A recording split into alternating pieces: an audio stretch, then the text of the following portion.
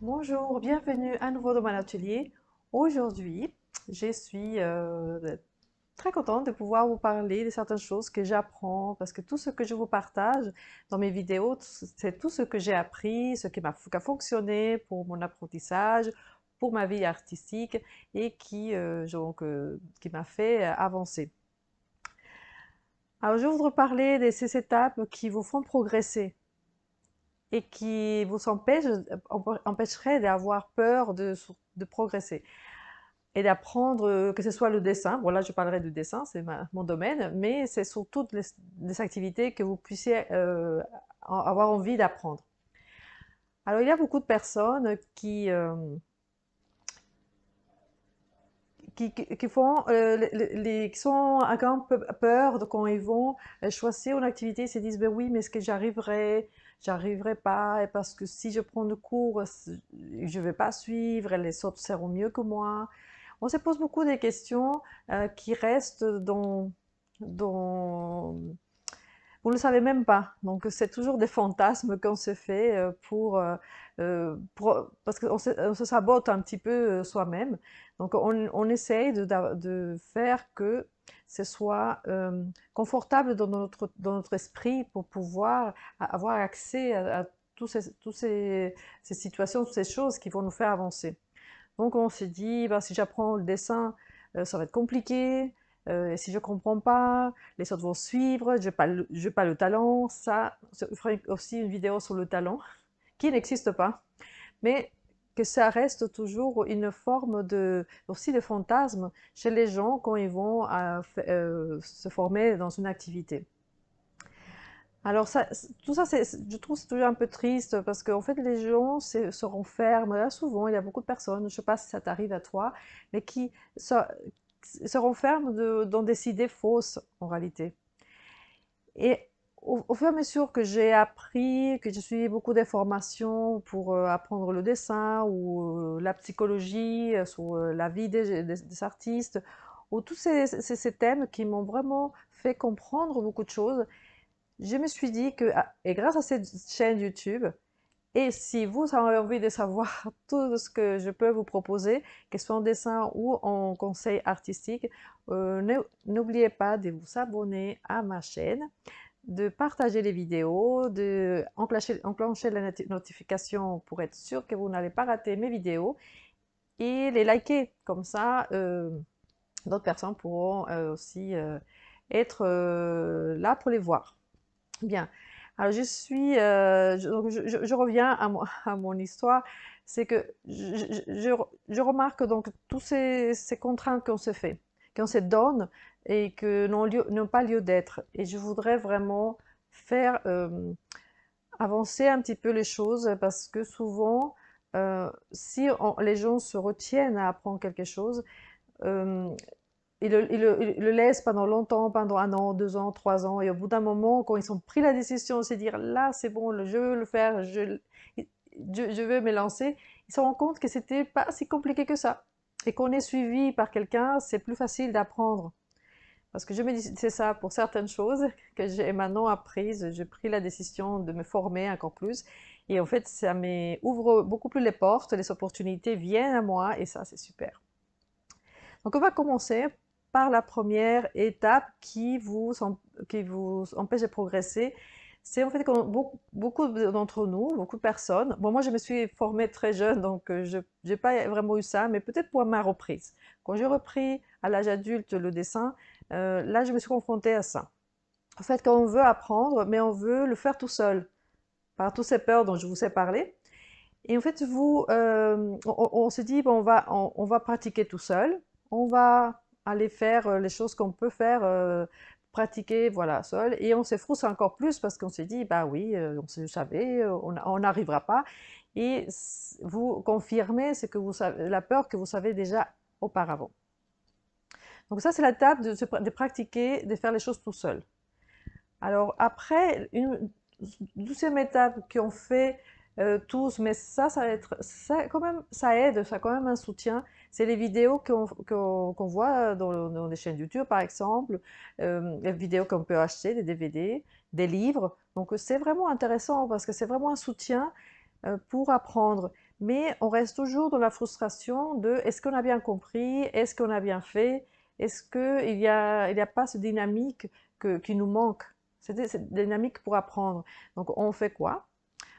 On fait les, euh, les exercices et tout, et on arrête parce qu'il n'y a personne qui va nous dire bah oui, mais tu devrais faire ceci, cela et tout, et on ne peut pas poser des questions. Donc ça reste toujours frustration de ne pas avancer. Et malgré l'envie qu'on a d'avancer, de faire plein de choses, et, de, surtout quand on voit les artistes qu'on admire, on, voit, on va dans les expositions et on les voit, voit les tableaux en vrai, et on dit ben, c'est super, moi j'aimerais bien faire comme ça. Et ça reste comme ça dans la tête, qui trotte, qui trotte, comme ça, qui dit, bah, qui nous dit, bah, ce serait génial, mais tu es incapable. Donc on a toujours cette petite dualité qui, reste toujours euh, dans notre tête.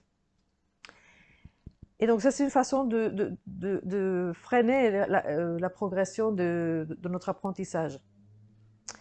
Et il y a cette troisième étape qui pour moi est l'essentiel, mais qui pose beaucoup de problèmes à beaucoup de personnes, c'est le fait de se former. Alors, malgré qu'on a vu qu'on ne peut pas se former si on le fait tout seul, on ne peut pas se former non plus si on fait que regarder des vidéos et lire des livres, et pratiquer tout seul. Donc, c'est vraiment ça, on se rend compte que ça ne va pas. Il y a quelque chose d'autre. Et, euh, c'est là où on se dit, mais on si on se compare à des, artistes qui ont, ça fait 20 ans qu'ils dessinent, on peut se dire, oui, mais dessinent, mais parce que ils sont, ça dessine depuis 20 ans, donc c'est normal. Ben non, toutes les, tous ceux qui ont réussi se sont formés. Se sont formés et ont pris beaucoup de temps pour se former même tout seul, ça on peut le faire, mais c'est prend énormément du temps, mais n'empêche qu'ils sont faits souvent des, stages, des formations et tout pour avancer. C'est très très très important. Donc, euh, qu'est-ce qui nous empêche de ne pas faire une formation Ça nous empêche d'acquérir une technique. La technique est super importante. Donc, cette, étape d'acquérir des connaissances solides pour avancer, c'est l'essentiel. Donc, il faut s'acquérir et c'est important. Donc ça, vous voyez les étapes. Et là, je, vous ai donné cette étape euh, un, peu à l'envers, où on pratique tout seul, on regarde des, vidéos et, on décide ou pas, on se pose la question pour les cours, ou pour acquérir une technique. Alors les gens le font souvent à l'envers. Alors maintenant, j'ai ce que je euh, veux vous transmettre comme message dans cette vidéo, c'est que il y a des étapes à suivre. Et la première étape, c'est d'acquérir la technique. La technique de ce que vous voulez apprendre par quelqu'un qui sait beaucoup plus que vous et que vous avez vu les résultats qui, ont dans leur vie. Faire, par exemple, moi, je, préférais, je me suis formée avec plusieurs personnes, mais j'ai beaucoup aimé l'idée de faire plusieurs stages par an et, et, avoir le regard de différents artistes. Même s'il y a des choses que je, souvent l'animalier, mais si c'était pas l'animalier, c'est pas grave. Il y a beaucoup, qui sont, beaucoup de choses qui m'ont aidé. Par exemple, si euh, pour commencer à apprendre à dessiner, beaucoup vont, vont aller directement à l'animalier directement au paysage, sans se rendre compte. Et ça, c'est l'apprentissage avec quelqu'un qui nous, l'apprend, qu'il faut apprendre avec les objets. Les objets, c'est important. Donc, si on ne va pas acquérir une technique avec quelqu'un, on ne peut pas savoir vraiment toutes ces choses-là et en plus, il y a plus que ça. Il y a la psychologie de l'artiste, la psychologie de l'apprentissage que vous n'avez pas tout seul. C'est presque impossible. Sauf si vous dédiez énormément de temps. Mais ça aussi, on n'a pas toujours le temps de dédier son temps à, une seule activité. Ensuite, euh, les vidéos, les livres, c'est super. J'ai des livres, je regarde des vidéos, j'ai fait des vidéos pour vous. Et ça, c'est super. Mais vous devez le voir vraiment comme un soutien. Un soutien qui va vous aider pour avoir de nouvelles, références, euh, de voir différents artistes.